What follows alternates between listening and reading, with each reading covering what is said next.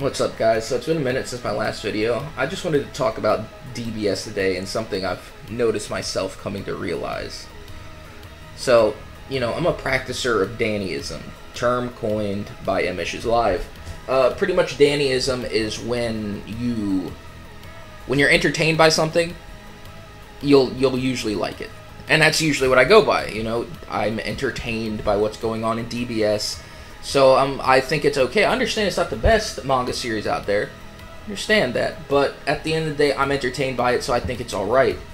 But you know, recently, Emish has gotten into One Piece, and One Piece is my favorite shonen series out there. Like it's my favorite manga and anime. I think it's the best. And granted, there's other people that you know I interact with on a daily basis that also like it, but Emish is one of my closest friends. So to see him to start to pick it up, I got really excited. You know, now why did he pick it up? He picked it up because you know he wasn't feeling DBS. It just disappointed him too much, and he always had this idea that you know uh, the characters look goofy, they look stupid, Luffy looks dumb, but DBS got to such a bad point that he was like, you know what? Let me try One Piece. Let me see if it's actually as bad as I think it is. And he immediately liked it. I told him to start off at Marineford, and if he liked it, he could go back and you know read up to there and so on and so forth. You know, if he if he likes it at his peak, he's going to feel inclined to read it from the start or go back or whatever have you. So he started and he really liked it. He liked Whitebeard. He liked the Jozu and Mihawk and all these characters, and it, he's having fun reading it. Then we watched Stampede, and he thought it was a really good movie. And then we watched Film Z, and although, you know, he didn't rate it as highly as Stampede, he still thought it was a good movie. So, with all that being said, we're actually having fun with a series because, you know, we, we've been in some, some voice chats, and I've been reading the manga with him. We watched Stampede and Film Z together, and we're having fun with it.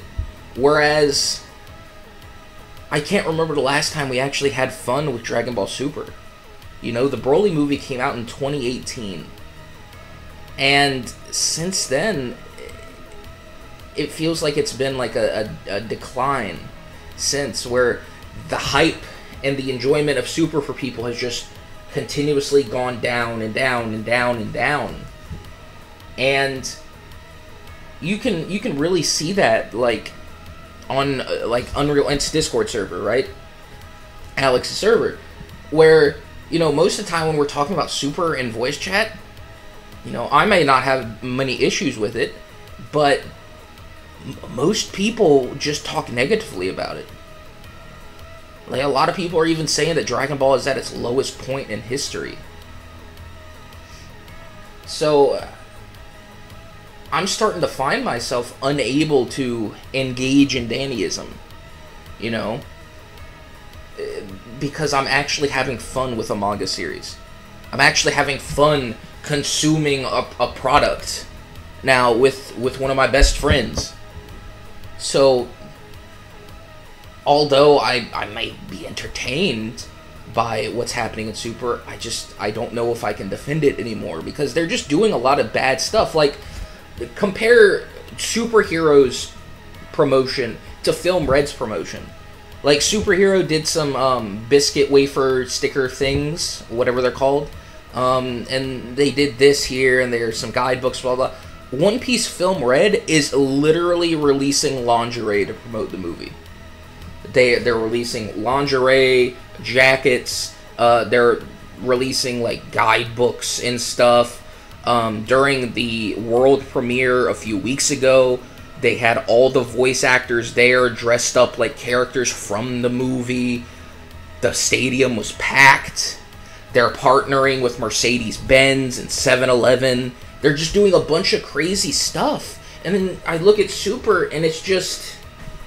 It's just there. Like, I enjoyed Superhero. But I can't sit here and deny the writing on the wall that a lot of people didn't like it. I can't sit here and deny that the marketing was bad because it was.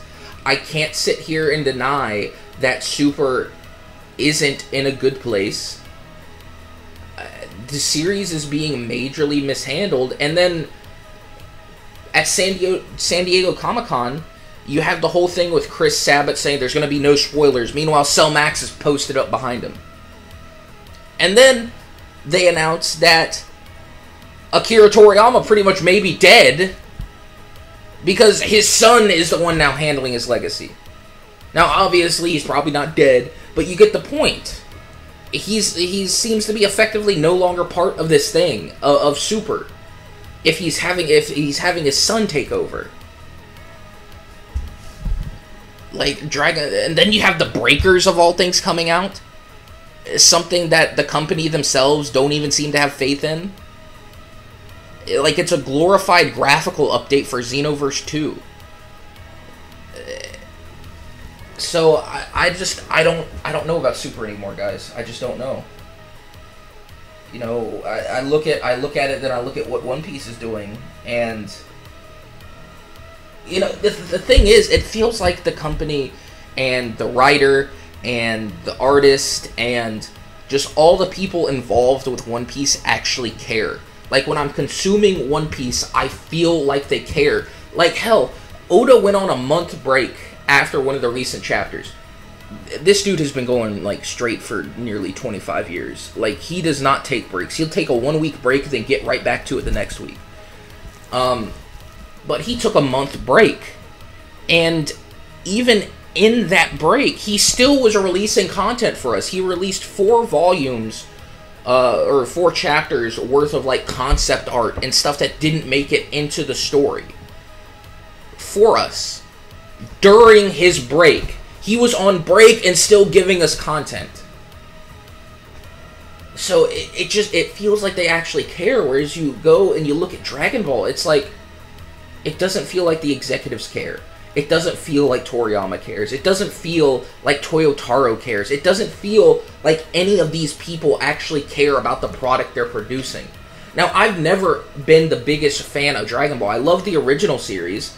Z is kind of hit or miss for me, and Super, it is what it is, and GT is likewise is what it is. But at the at the end of the day, like I can't look at Dragon Ball Super or just the series overall right now and say they care because they obviously don't.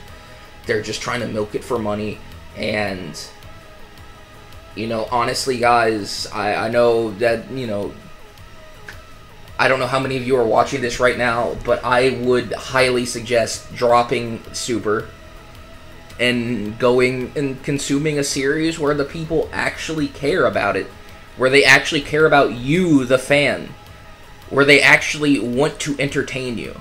Because let me tell you now, Super ain't that. They couldn't care less about you. But anyway, this has probably been long and rambly, and I'm just probably saying a bunch of BS right now. So I'll just leave you guys with this. Thank you for watching.